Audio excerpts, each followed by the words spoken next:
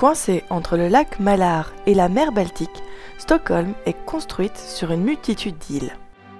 Les 14 îles qui constituent la ville sont un véritable patchwork d'eau, d'espaces verts et d'urbanisation.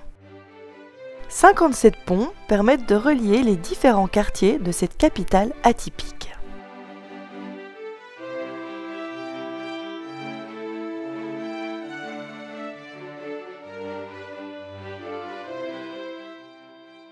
Son centre historique, Gamla Stan, est construit sur trois îles, Stadsholmen, Riddarholmen et Helgeandsholmen. Fondée au XIIIe siècle, elle se caractérise par des rues à pavés et des ruelles médiévales. Au centre de la vieille ville, la jolie place de Stortorget fut le témoin du bain de sang de 1520, où de nombreux membres de la noblesse suédoise furent exécutés par les forces de Christian II du Danemark. Aujourd'hui, beaucoup plus paisible, elle abrite le musée et la bibliothèque Nobel.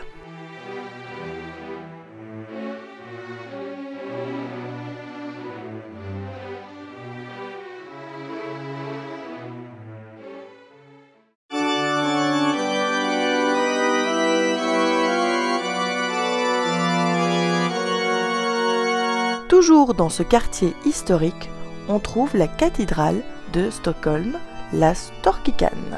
Inaugurée en 1306, elle remplace la chapelle en bois du XIIIe siècle incendiée.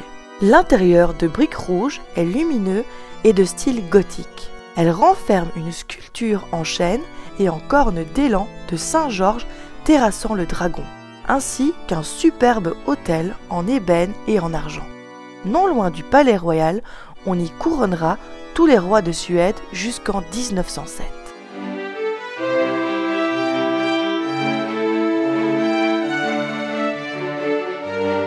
L'imposant palais royal est la résidence officielle des monarques de Suède. Mais en 1981, Charles XVI, Gustave de Suède, déménage au château de Trottingham. La Suède est une monarchie depuis des temps immémoriaux. Cette monarchie élective devint héréditaire au XVIe siècle sous le règne de Gustave Vasa.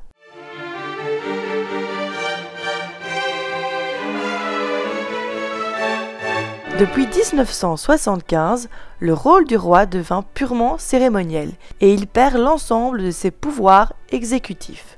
Il n'a plus la responsabilité de nommer et d'émettre les premiers ministres. Le château actuel, de style baroque, fut construit suite à l'incendie du château Trécronor en 1697. L'architecte Nicodème Tessin le Jeune le conçut comme un palais romain comprenant plus de 600 pièces. Ceci en fait un des plus grands palais d'Europe. Les divers aménagements se poursuivent jusqu'en 1770 depuis, il n'a plus connu de modifications.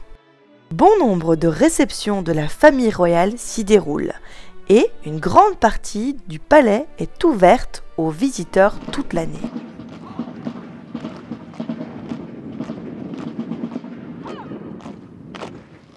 À l'est de Gamlastan, l'île de Skepsholmen abrite le Moderna Musée et son jardin de sculptures. On peut y admirer The Four Elements de Calder et le paradis fantastique Les Machines de Tinguely y affrontent les fameuses nanas de Niki de Saint-Phal.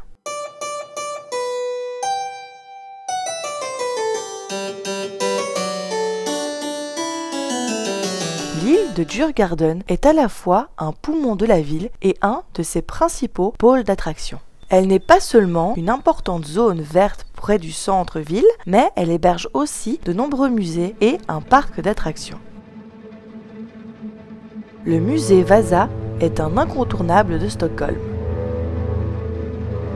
Si les Suédois n'ont pas toujours été les meilleurs constructeurs navals, ils ont réussi un très beau musée sur ce qui fut un des plus spectaculaires échecs maritimes. Le 10 août 1628, dans un contexte de guerre navale avec la Pologne, la Suède lance son navire de guerre Vasa pourvu de deux étages de canons. Le navire prend la mer sous une légère brise cap à l'est pour son voyage inaugural. Dès qu'il eut quitté le port abrité, une première rafale de vent emplit les voiles et fit incliner le navire qui se redressa. Une seconde rafale le fit tanguer à nouveau, permettant à l'eau de pénétrer dans le navire par les sabords. Le Vasa ne s'en releva pas et sombra à 120 mètres des côtes après seulement un mile de navigation. Une grande partie de l'équipage put regagner la rive toute proche mais 30 à 50 personnes bloquées dans le pont inférieur sombrèrent avec le navire. Le naufrage eut lieu sous les yeux d'un public nombreux venus assister à l'événement, parmi eux des ambassadeurs étrangers. L'enquête menée à l'époque ne put déterminer les raisons du chavirage. On en conclut que le naufrage était un acte divin. En réalité, la connaissance des calculs du point de gravité était encore très intuitive au XVIIe siècle. Le lest ne suffisait pas à stabiliser le navire doté de deux ponts de canon. 333 ans plus tard, en avril 1961, le Vasa est renfloué. L'absence de tarets dans la Baltique froide permit la conservation du navire. Un musée lui est entièrement dédié. La température y est maintenue en permanence entre 18 et 20 degrés, avec un niveau d'humidité de 55%.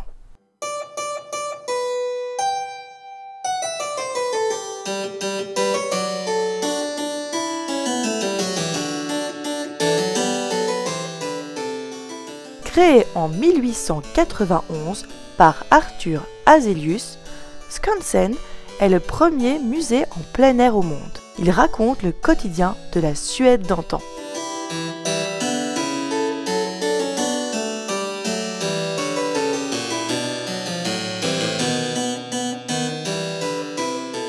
À la fin du 19e siècle, la Suède connaît une explosion des activités industrielles qui menacent les traditions de tomber dans l'oubli.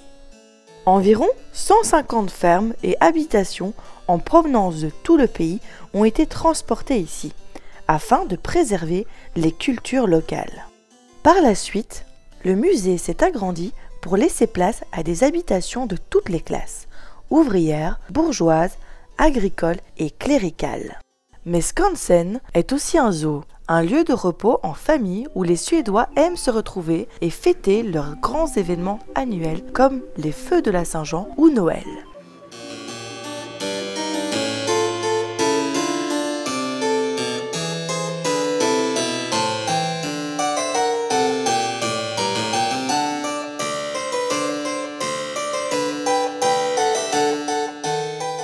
Djurgarden est également le poumon vert de Stockholm avec de belles villas disséminées dans un écrin de verdure. Situé sur l'île de Kungsholmen, en bordure du lac Malar, l'hôtel de ville est une réinterprétation libre des stadhus médiévaux en briques. Typique des villes hanséatiques, sa construction fut terminée en 1923 après 12 années de travaux. Son grand hall, appelé hall bleu, bien qu'étant de briques rouges, accueille le banquet qui suit la remise des prix Nobel. La salle dorée est entièrement recouverte de mosaïques faites de morceaux de verre et d'or. Au fond de la salle, la reine du Malar reçoit les hommages de l'Orient et de l'Occident.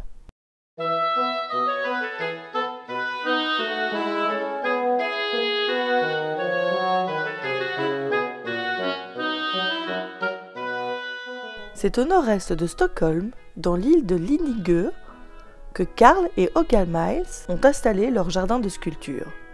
Le couple acquiert ce terrain accidenté en 1906.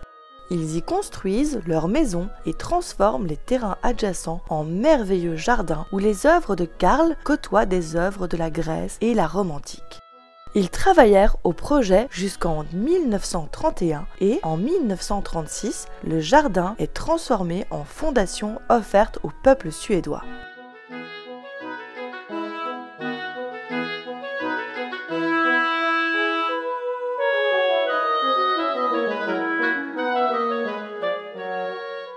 Stockholm se révèle être une capitale paisible dotée d'une certaine qualité de vie. La présence de nombreux espaces verts disséminés sur une multitude de petites îles n'est certainement pas étranger au Largum.